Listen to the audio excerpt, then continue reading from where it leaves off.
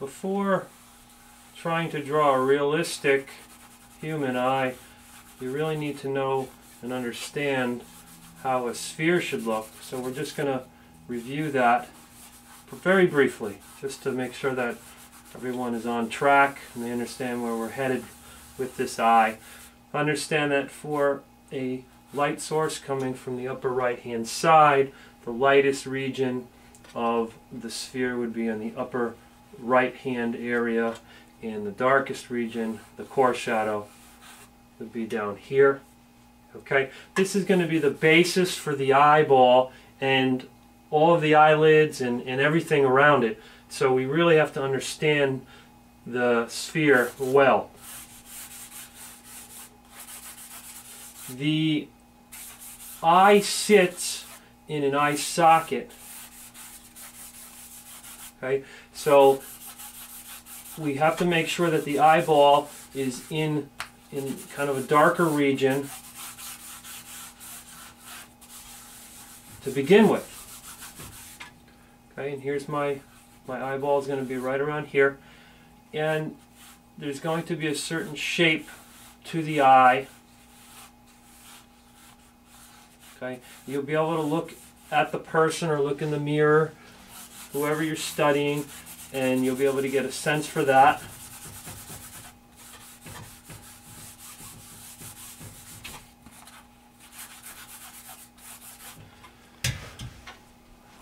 Okay. The eyeball is spherical, as we've said, so it needs to get dark enough to the left, dark enough to the right. We need to blend it like a sphere. The common mistake is to just take that white of the eye and just leave it all white. That can't be. It has got to be some fading, some gradations happening because it is, it is a sphere. This is going to be the the iris and the pupil of the eye. We'll, we'll, we'll be getting back to that um, in a moment. Let's look at the upper eyelid. The upper eyelid has a crease where it meets the, uh, the rest of the eye socket. So the eyelid rolls out of the darkness. So it starts darker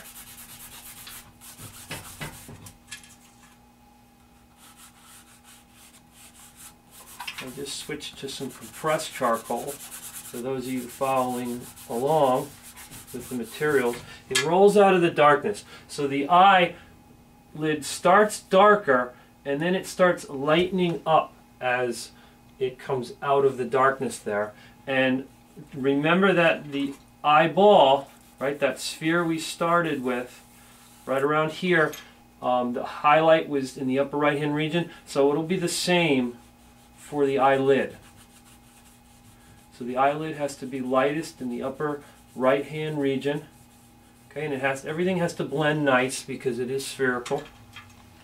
That little thickness to the eyelid faces down. Therefore, it deserves to be dark. Which is interesting because when we get to the other eyelid, everything's going to flip-flop. Everything's going to switch around. Okay, so when we work on the eyelid down here, which we'll move to right now, this is like the core shadow of the sphere. It needs to be darker in the bottom left-hand area.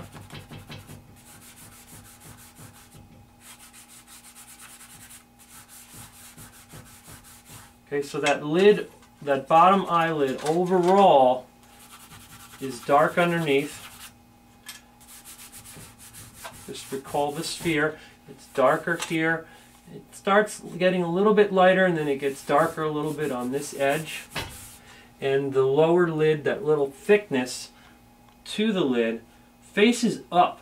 So it actually deserves to be lighter. And this is a very common mistake people make. They just outline the eye and and they call it a day. And unless you're wearing some heavy makeup, the, the lower eyelid is usually lighter to show that little thickness. So it's lighter here, darker up there. And it just has to do with the direction that it faces. This faces up, therefore it deserves to be light. This faces down, therefore it deserves to be dark. Okay.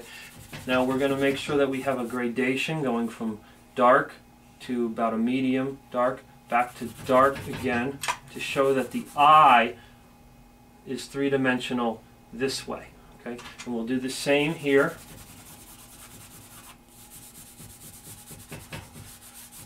It's all about the sphere. Everything has to be spherical.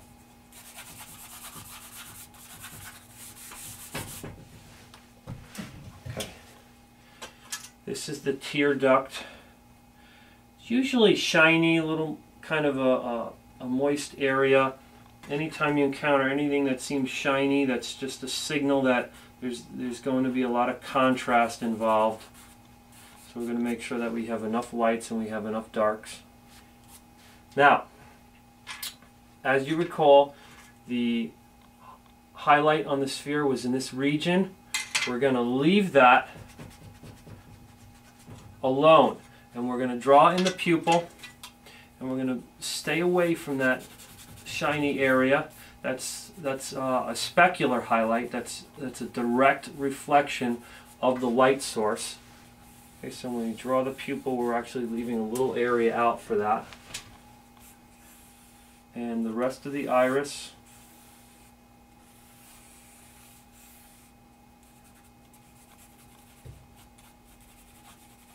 Now I'm going to draw a certain eye that's maybe a little bit lighter or medium.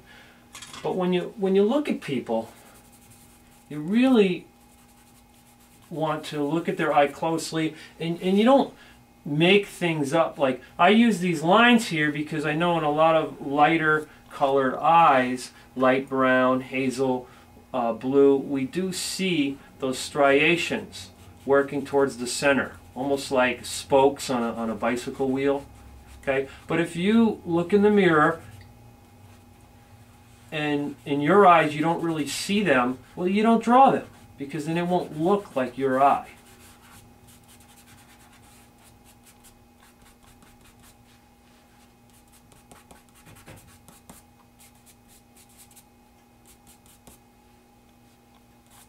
So we so far we've got some striations.